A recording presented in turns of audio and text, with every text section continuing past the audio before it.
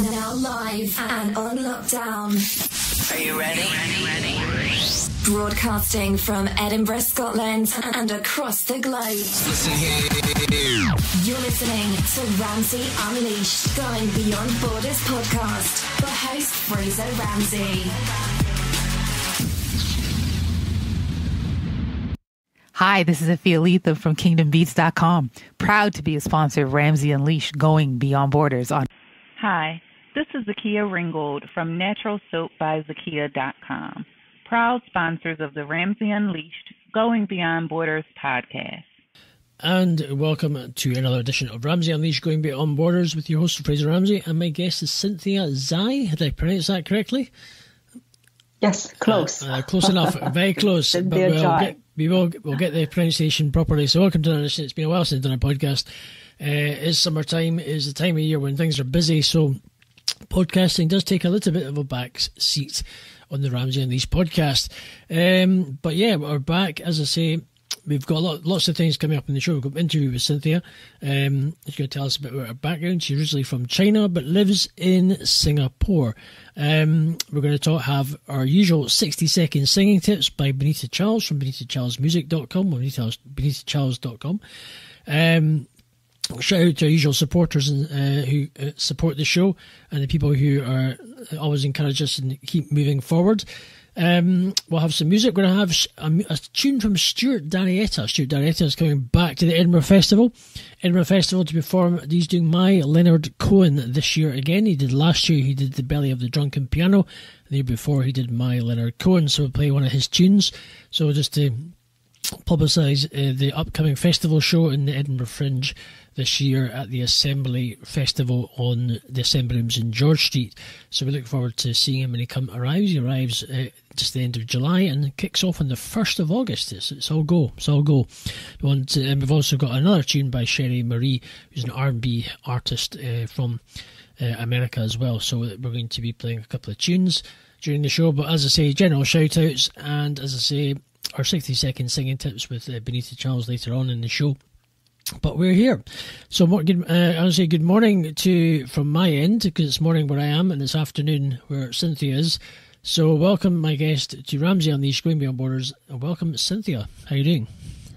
I'm very good. Thank you. That's good. So how's uh, t- tell us a little about Okay, tell us a little about you're obviously you're, you're brought up in. This is do I usually try and mix and match things I'm interviewing and find out what people do now, and then maybe go back into life and what growing up and things. But we'll just do. You're born and brought up in China, yes. Yes. So tell us about life growing up in China. Obviously, with China being a very it's quite a strict country that she has had. It's gone from being a, a one uh, from they've recently changed the rules. I know that they've been from just a one child parent family to now you can have now more. But what was life growing up? What is tell us about life in China growing up from? I know there's different scales of the spectrum, but tell us uh, about what life is like in China growing up. I think a lot of people, because they don't they don't know China much, so they always have all kinds of uh, assumptions toward people in China. I was born after the uh, open door policy, and it was actually great. I wouldn't say that it's. Uh, I don't feel anything. I grow. I grew up happy, grew up uh, achieving, and uh, grew up having a good life. So. And uh, even though, you know, probably that's outsiders' view that China is strict, but if I didn't come to Singapore, I didn't know that Singapore is much more strict. So you cannot uh, eat in the trains in Singapore, but in China you can eat in the trains. And uh, yeah, so I think it's um, for me it's pretty pretty okay.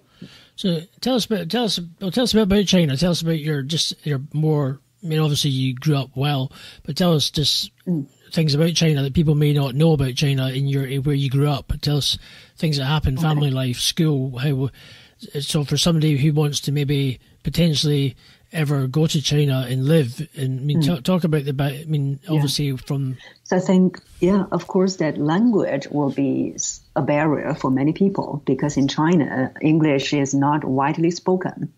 But right now, if you go to big cities like Beijing, Shanghai, all these big cities, uh, especially young people, they can speak English very well.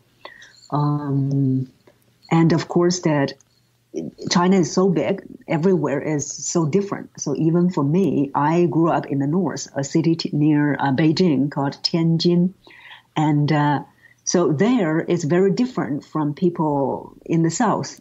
So even I couldn't understand some of the languages from the south, the dialect. Like for example, Shanghai in Shanghai they speak Shanghainese, so I couldn't understand and uh, also people from Canton they speak Cantonese, and I couldn't understand. So it's so big, it's so diverse, and uh, yeah, so that's what I want to share. That's cool. That's good. So I just that's, that's brilliant. It's always good to a bit of a background. So, uh, so what Yeah. when when did you? What age? I mean, what was school like for you? School life was quite. I mean, what's the school system like over there? I mean, how, to compare Okay. to like Yeah. maybe over in the US or in It's the UK? um, yeah, I think I'm not very familiar with the educational system in the UK. Um, but you know, in China, the uh, as a student, it's very stressful. So now it's probably better, but at my time, uh, we have the saying that is thousands of people would go on a small bridge.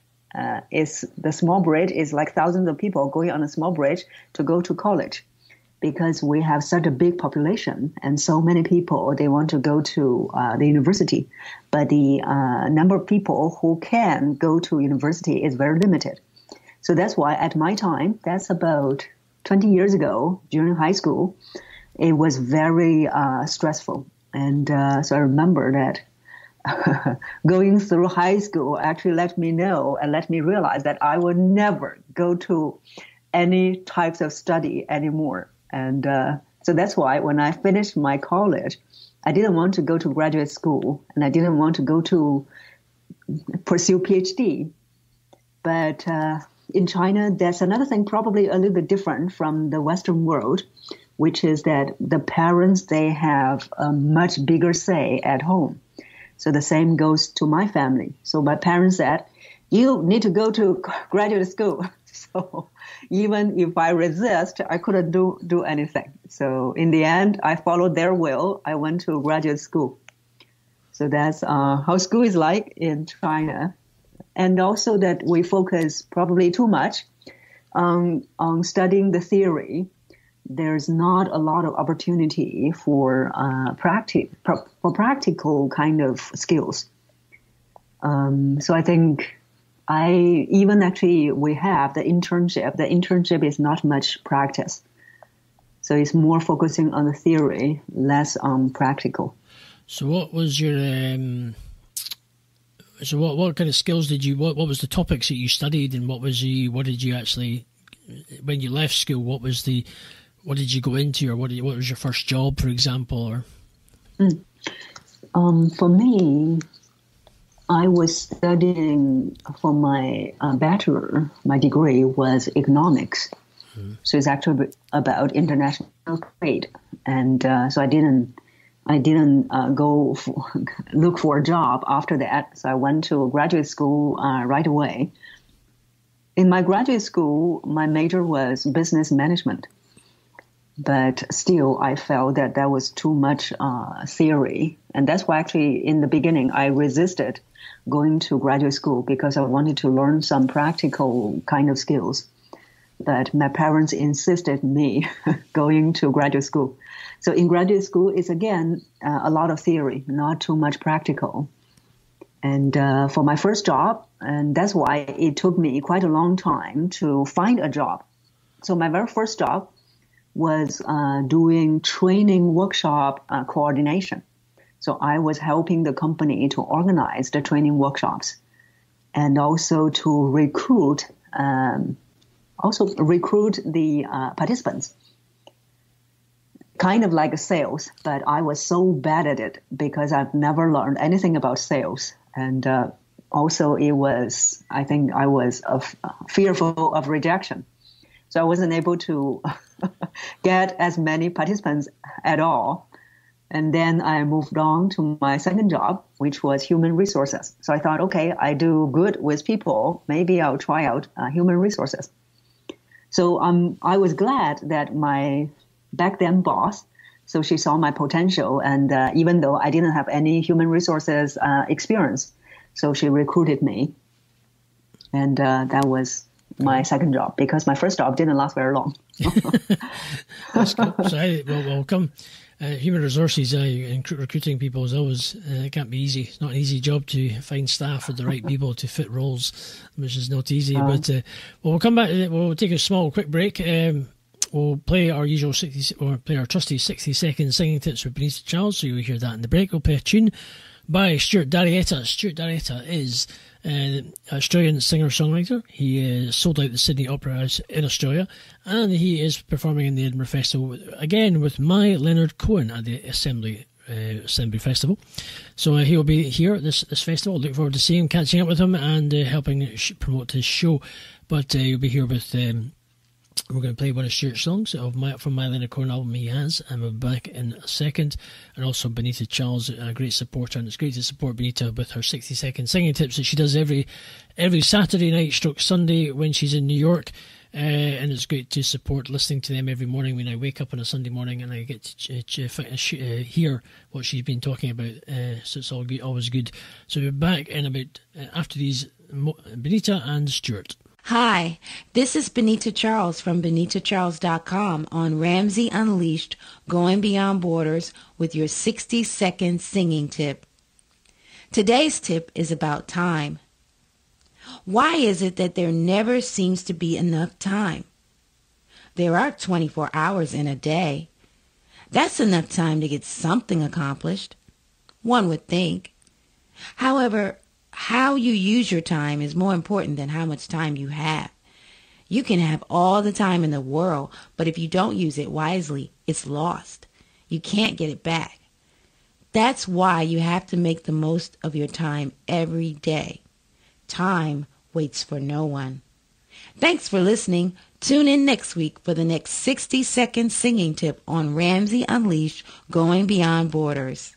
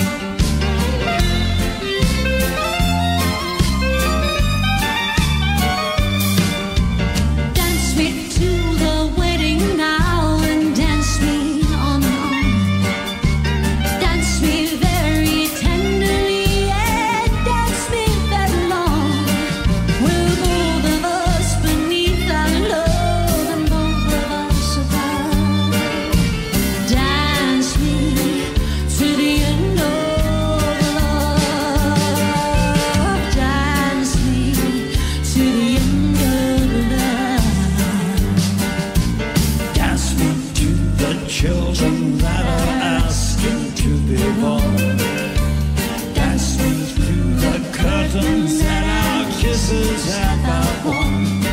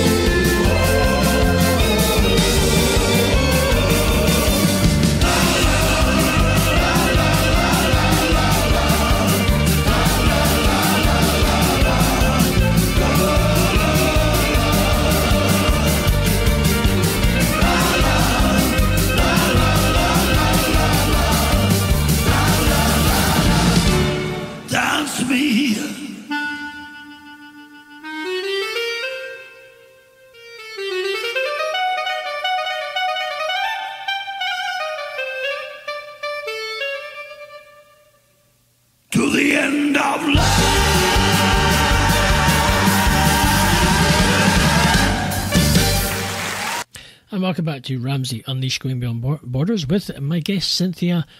Is it, how do you pronounce your last name? Jai. Jai. So it's like a it's like a J, Yes. not Zai. So it's, it's Jai. So Cynthia Jai.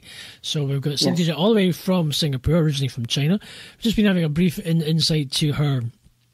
Obviously, a little bit of education in China and uh, her background, uh, her going into sort of her first jobs, um, in what she studied. Um, obviously, it's quite a strict regime in China with uh, all kind of theory and not no practical side. So uh, obviously, when you sometimes there's a lot in this day and age, it's you get the intellectual, the academic side, but you don't get the practical. You sometimes you get people who are more practically ba- based and not the academic. But and that's the, the, the bizarre thing these days. It's not easy.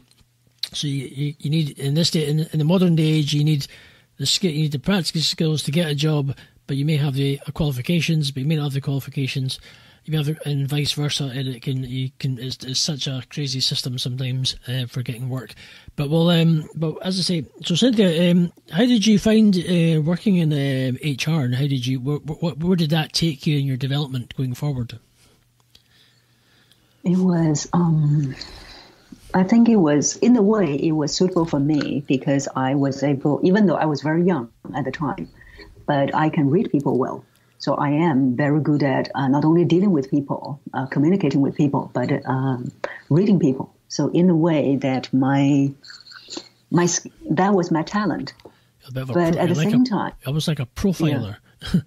like a, like, Yeah. uh, very, very, that's, that's a good way Like of the- reading it, like a criminal profiler almost. yeah, like the FBI. yeah. So yeah, that's why I like to watch the Criminal Minds. Ah, I, I love, I love, I love Criminal Minds. It was very good. It got to stage, Yeah. it got to get, it got near the end, but we'll come back talk about TV stuff later on. yeah, So you like to read people? Go ahead.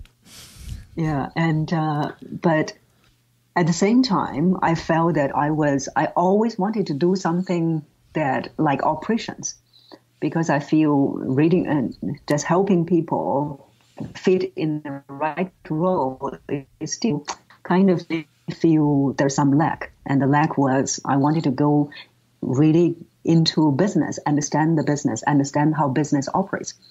So that's why, and also because I had a very, um, very tough boss who was uh, somewhat bullying.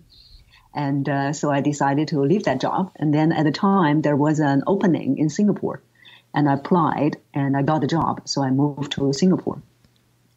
Cool. And uh, yeah, that was about 12 years ago. Wow. So, so basically, what the job you got in Singapore? What was that? Was that that was the what was the job again? You say? Uh, so it was to help people. It's also doing training, and uh, we train people on leadership and communication.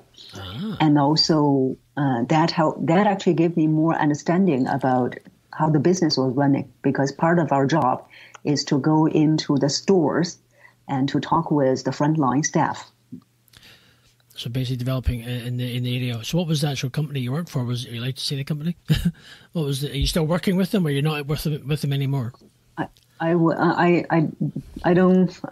I, I have stopped working with them tw- Okay. ten years ago. Oh wow, Yeah. ten years ago. So it's a quick. Uh, and then you've now moved on. Did you? What did you do next after them? Was it? Did you become self-employed? So after or? that, yes, self-employed. So I've been uh, doing my own business for the past ten years. Congratulations. And uh, that company, yeah, thank you. That company was, uh, it did equip me with some skills on teaching, training, coaching. And after that, so I decided, I thought, okay, because I want to have more autonomy. And uh, when we are training for companies, the topics are decided and we have to follow in certain structure. So I don't like to be structured into a box. So I decided to come out and uh, do my own programs. So that was 10 years ago. And uh, here I am. So how did you? So let's talk. Well, so you started your own program. You're now self-employed. Wh- When, when did you start getting your first clients coming in, or how did you market yourself to gain your first business? Yeah, so I think uh, for me, um, in many ways, from other people's eyes, they said, "Oh, you are uh, almost a foreigner." I am. I was a foreigner here, and I didn't have much contact. And they they would think that, "Oh, it would be super difficult."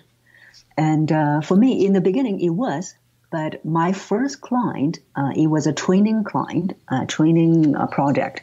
So that client actually I got before I even tendered my uh, resignation.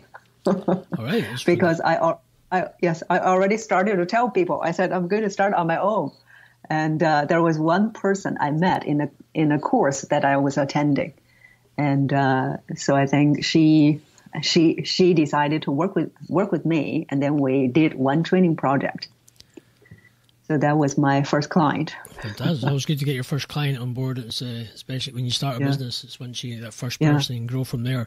So, how fast did you, after your first client, how fast did your business develop and grow? Yeah. So I think also from the moral of the the experience in getting the first client is go out and uh, meet people. So it's the same for my next client. It was also that I went out and meet different people. So it was networking. And uh, that was how I got um, my first few clients. It was through networking. That's fantastic. That's good. So, how, and brilliant. It's like myself. You got to got to push yourself to get the business and get the clients and market yourself. If you don't market yourself, you're never going to get the Yeah. business. And it's not easy. It's a it's a vicious world being self-employed. Vicious world, and it's Yeah. sometimes it's never ending. so, um, Yeah. as, as you as you start off quiet, and you get busy and busy uh, as time goes by. But um, it's a, it's multitasking uh, to the to the extreme. But uh, but let's tell us a bit more about that. Dive in. So t- tell us a bit more of the insights if into your business. Go into the whole what the, the, the features and benefits of what you you're about, Mm. what you do in training. So if I, if there's a potential mm. customer listening to this podcast, they, or somebody listening and you want to know exactly really what you do differently to maybe a general kind of style coach or mm-hmm. whatever training that are mm. out there already. Yes. So uh, I help people develop and speak with a powerful voice. So it's to work on the physical voice and to help them sound more authoritative so that whenever they speak in meetings, people will see them as the expert. And whenever they speak in conferences, people will see them as the expert and come up to them, want to do business with them. So that's what I do in a nutshell. Right. Okay. So give us, uh, can you give us some examples of clients that you've kind of worked with and how they you change Sure. them from being obviously not being able to throw their voice to Hmm. their experiences or any sort of case studies. Yes. Uh, so one of my clients, he works for a company, a very, um, in a way, it's a very established company. And uh, even though that company serves a certain group of people, but in that industry, it was very well known. And he is probably the only expert in the company. But whenever he spoke in meetings or speak in conferences, people never saw him as the expert. Whenever he finished talking, no one had any reaction. And then he was wondering, he said, Did my message land? Did they hear me well? But there was no reaction. So, and also people were not seeing him as the expert. Instead, almost seeing him as an admin staff. Uh, whatever work they have, they just give it to him. So he was very frustrated. And uh, during our working together, he was developing his voice. So his voice became much more powerful. And uh, when he was traveling after his business trip, he came back to the office. Uh, his colleagues were saying, Wow, what happened to you? Just by traveling, your voice has become, uh, in a way, very sexy. and uh, sexy in a way because his pitch was deeper and his voice is having more gravitas Okay. and uh, also that his boss, because of the voice that he has developed, he has more confidence, and uh, his boss started to notice his confidence as well, and because he has the uh, expertise, so his boss set up a specific position, a special specific position just for him, and that position itself was already saying that he is the only expert in his company. And not only that, uh, not only that, but also he started to notice when he was speaking in conferences, people started to pay more attention. People came up to him after he spoke. There was one time he was only a panelist, one of the four panelists, but many people came to him after the panel discussion, and he collected a a big stack of business cards. so he was sharing with me. He said, in the past, this business cards, this stack of business cards, it would take me about uh, two months, provided that every every week I was speaking. So now, just by being one panelist, I can collect so many business cards. and many of them they came from uh, some of the top government agencies who wanted to work with his company. That's fantastic. That's great. That's a great case study. That's good. That's yeah. Well, let's um, we'll take a wee break. We'll take we'll come back with uh, we'll play our other artist Cheri Maree, who's all the way from uh, I think Where's she from? Atlanta, not Atlanta, Maryland. I can't remember. she's going to kill me for that.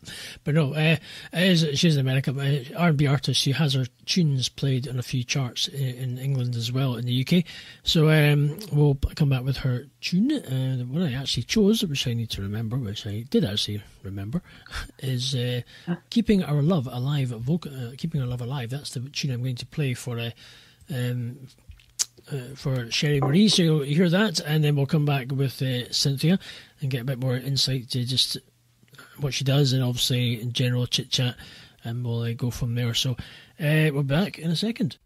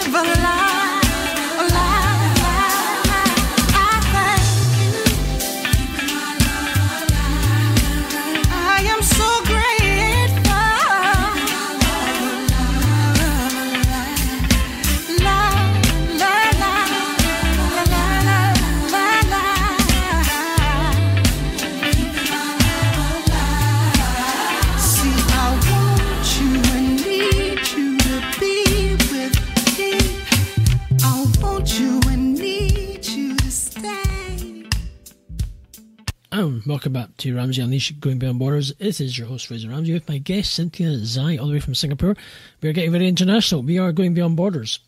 And so I do a shout out to uh, our usual kind of peeps, our supporters. We have, uh, we're gonna have, we've actually added an RB supporter as well. We've got, uh, we do have Kingdom Beads by Ifya Latham, who, if you, uh, go to kingdombeads.com, if you design your own, if you like your kind of jewellery style, you can design them, you can make your own, you can pick what's in the shop.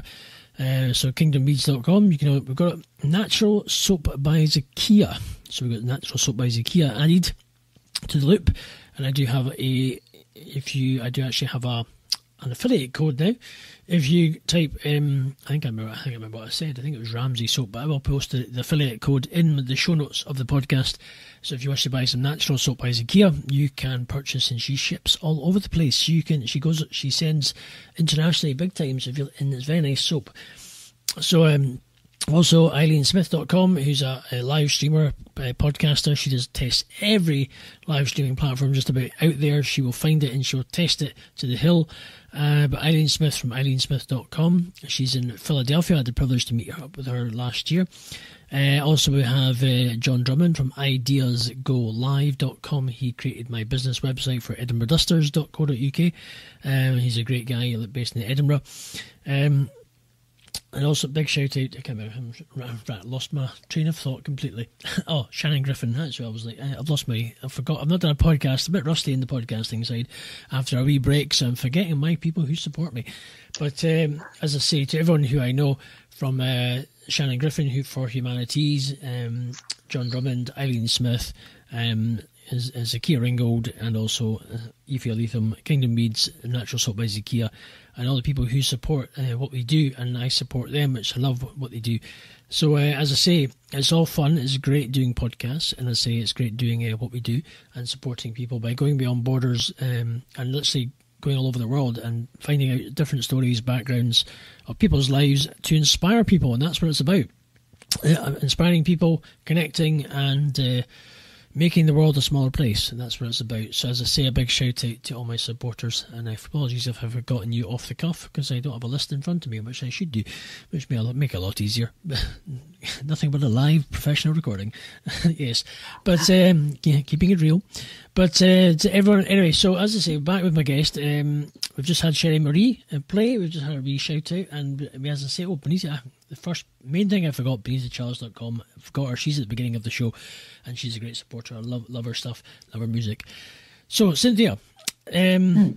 tell us a bit more. Tell us what we don't. Tell us people anything else you want to expand on uh, about your. You just told us about a case study about one of your clients. Um, yes. Tell us a bit more about your.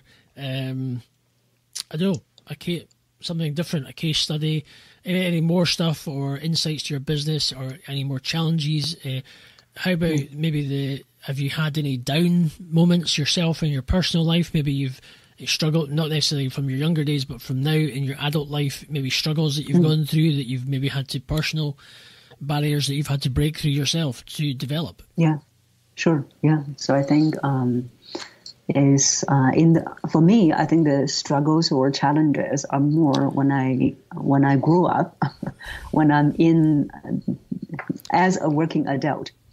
Because uh, especially in singapore uh, as a foreigner coming from coming from china to singapore in the beginning i think working here especially teaching voice projection was a big challenge because in the beginning, a lot of my friends, even my mentor back then, uh, they were all saying, "Oh, you are teaching people how to speak. Uh, who would want to learn from you? Maybe you should teach Mandarin." so, but when my mentor said that to me, I was so um, so upset with him. So I stopped talking to him, and uh, because I was thinking I respected you as a mentor, but you didn't even support me in my decision. And you didn't. What's worse is you didn't even see me, uh, see my potential, because I believe in my own potential. I knew what I was capable of. I knew what I could achieve, and so, uh, regardless of all other people's opinions, so in the end, I decided to pursue what I want to do, which is to teach people how to project a more powerful voice so that was a lot of struggle in the beginning, a lot of no's in the beginning, a lot of rejections. So I think in my very first job, when I graduated, I was afraid of rejections, but life gave me the opportunity to deal with rejections. So in the beginning of my business, I faced a lot of rejections, but um, I knew what I was capable of. So I have faith in myself, and that really helped me to really grow my business. So now, not only I help clients in Singapore, but also I help clients all over the world. and I have helped clients from 46 countries. And for myself, that I was able not only just to do training, speaking in Singapore, but also all over the world in 15 countries and across four continents. So I think um, That's good going. looking back, So how did you how Yeah. did you manage to gain all these clients in different countries? I mean, forty six countries. Were they all kind of just by online sort of? Yeah. So you know or- that just now, yeah, just now I I forgot to say that in one of my earliest clients, Uh-huh. my very first client, uh, not very first client, but one of the earliest clients from online was actually from uh, LinkedIn. I didn't even know. You know, that was a, probably half half a year later. I changed my profile to self self employed voice coach, and then uh, no, not not long later, I got an inquiry from LinkedIn. Wow, So my first online client was from LinkedIn, fantastic! and uh, yeah, so I think LinkedIn, uh, YouTube, and also my website at the time, uh, they all have helped me to get clients from all over the world. That's great. and also yeah and also even in the beginning even in the first half a year when i was doing my business i was having clients before and after video comparisons. So that was very important. And that's why that i share with the new entrepreneurs you have to have not only just clients uh, testimonials but also based on the nature of your work especially my nature of the work is the voice change. So i have to show them. And those early videos they really have helped me uh, to get clients because they can see the change in their voices. That's brilliant, fantastic. That's good. Mm. So, what what do you tell us about out with work? What do you do as like hobbies, and what's your interests? Uh, uh, you like movies or whatever, or TV shows like crime, Uh, crime dramas or whatever. Tell us. Yeah, so I think uh, I like movies or TV drama series that challenged challenges my intellect Okay. because I I think studying in China that especially always almost always the top three students uh, in a way I am very intellectual. And I like to take on the intellectual challenges. And uh, watching those really challenged me intellectually. So I love those. And uh, even actually watching Criminal Minds I felt that my IQ increased even more. And uh, yeah so I like watching them. Um, that's one of my hobbies. That's good. What else do you do, or what other things uh, apart from just watching movies? Anything else you do at all? Oh, so I like traveling, and uh, Mm-hmm. Where have because you- of the work that I do, yeah, one is that I speak around the world. That also gave me the opportunity to travel around the world. So I really uh, love that, where and have- also Where have you travelled yeah. to? What countries have you been into? Apart from obviously Singapore Oh, and China. I've been to so many. Yeah, uh, the United States a lot of times. What, any particular uh, part? What Argentina. Parts, what parts of the United States? Uh, both East Coast and West Coast. okay, fantastic. uh, like California, Seattle, Los Angeles. Um, so the entire California and Right. uh, East Coast, uh, like New York, all the way up to the Niagara Fall area, Cool. and then yeah. So also some of the national parks in the U.S. And also, you said Argentina as well. Yeah, Argentina, and then went to the end of the world, so-called end of the world, and uh, also Europe.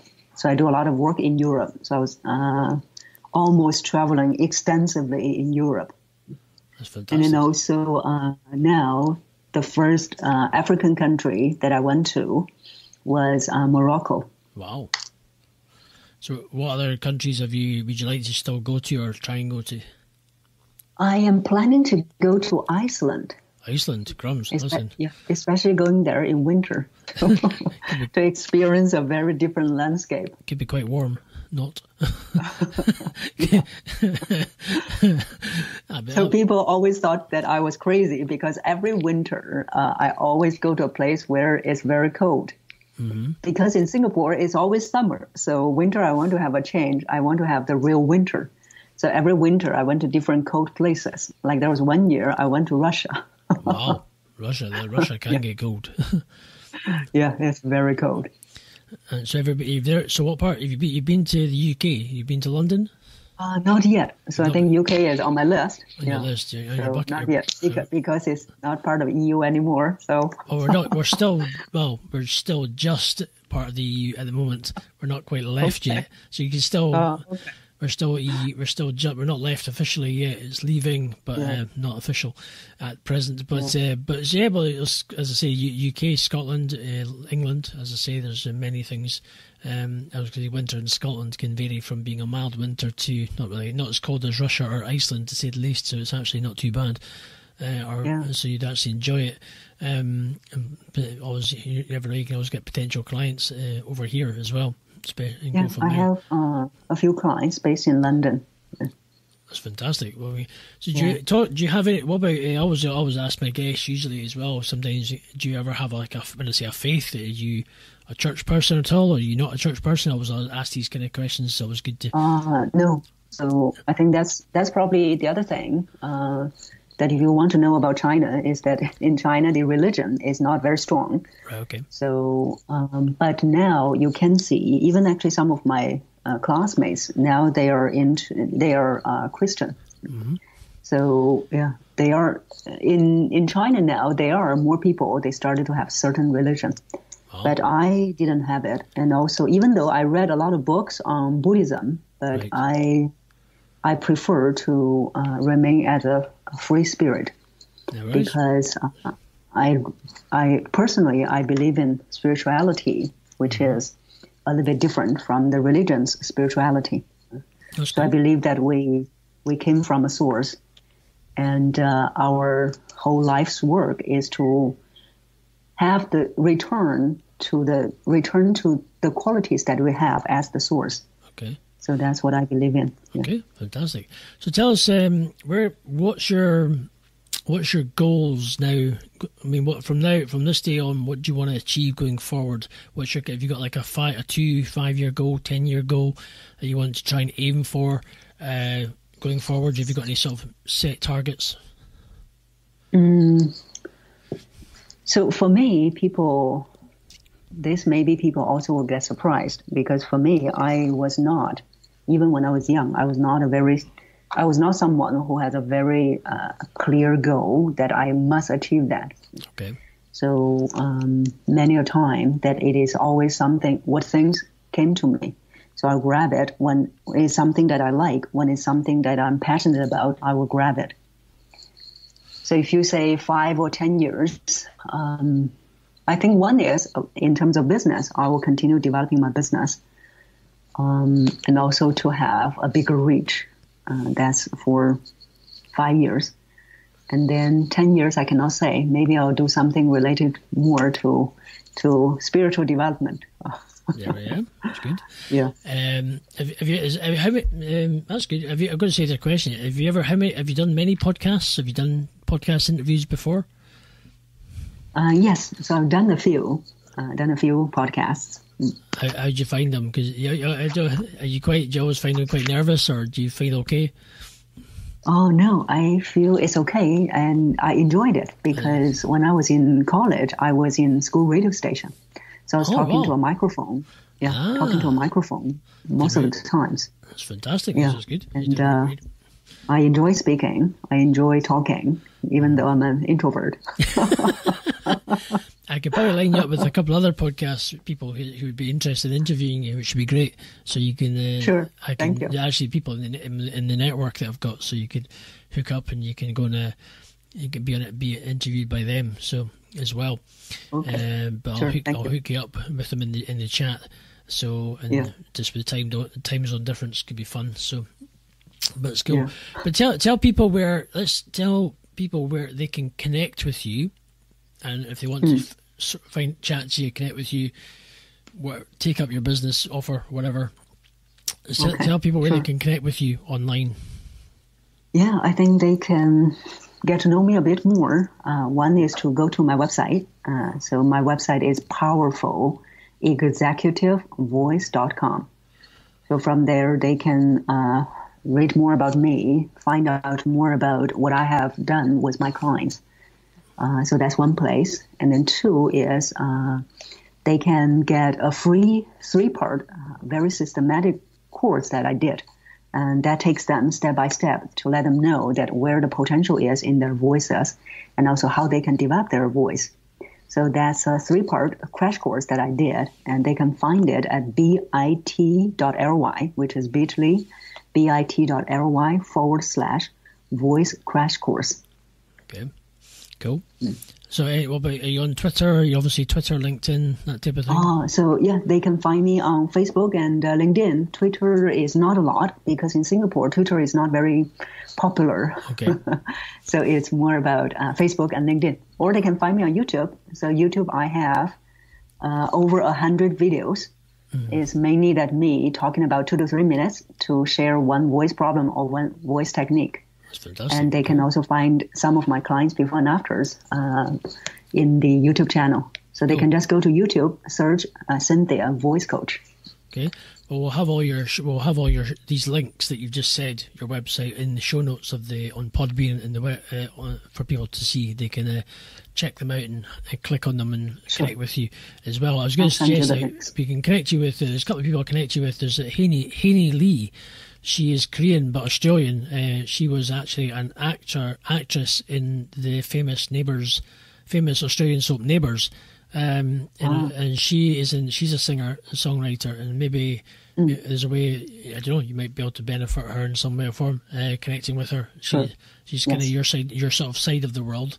Uh, when it comes to Yes. uh, as a possibility. You can can have a chat, might be able to help develop a short way of developing her in some way. You can have a uh, so can, there's also I'll connect you with Altavis Pelzer, who does uh, the.